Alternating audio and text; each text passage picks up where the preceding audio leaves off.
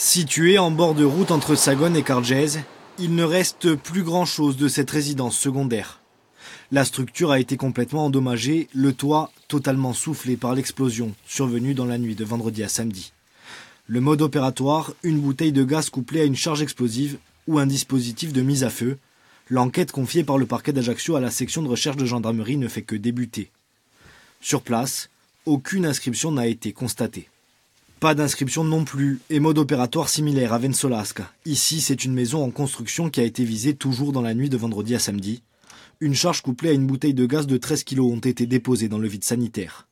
Un attentat qui n'a été découvert qu'hier en fin d'après-midi. Le parquet de Bastia a confié l'enquête à la section de recherche de la gendarmerie. La concomitance des faits et la nature des cibles des résidences secondaires appartenant à des continentaux laissent penser à des actions concertées à caractère politique. Qui plus est, ces deux explosions sont à relier à la série d'attentats survenus au début du mois de mars et interviennent à quelques jours de l'avenue d'Emmanuel Macron. Mais en l'absence de revendications, le parquet antiterroriste de Paris n'est toujours pas saisi.